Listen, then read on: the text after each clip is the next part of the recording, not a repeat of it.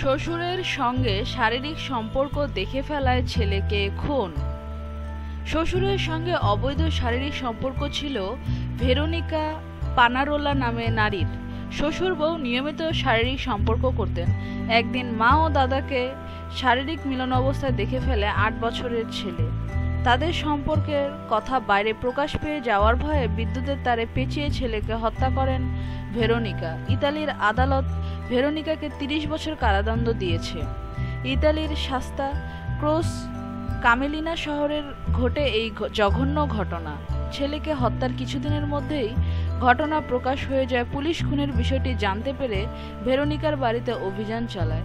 বাড়ির পাশের একটি পুরনো ড্রেন থেকে শিশুটির লাশ উদ্ধার করে পুলিশ। এ ঘটনায় ভেরোনিকাকে গ্রেফতার করে আদালতে হাজির করে পুলিশ। আদালত তাকে তিরিশ বছর কারাদণ্ড দিয়েছে, তবে তার শ্বশুরের বিষয়ে তেমন কিছু জানা যায়নি।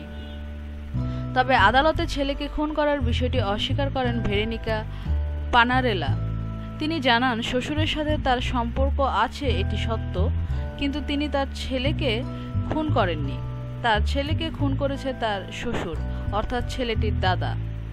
ভেরোনিকার শ্বশুরও খুন করার বিষয়টি অস্বীকার করলে রহস্য ঘনীভূত হয়। অবশেষে আদালতে ভেরোনিকার অভিযোগ মিথ্যা প্রমাণিত হয় এবং জানা যায় তিনিই নিজের ছেলেকে খুন করেছেন। প্রসিকিউটর মার্কো রোটা বলেন, তিনি যে জঘন্য কাজ করেছেন, তার জন্য আরও সাজা হওয়া দরকার। কিন্তু আমরা তো আইনের বাইরে যেতে পারি না, তাই আদালতের রায় আমাদের মেনে নিতে হবে। নিত্য নতুন এসব খবর পেতে আমাদের সাথেই থাকুন সাবস্ক্রাইব করুন।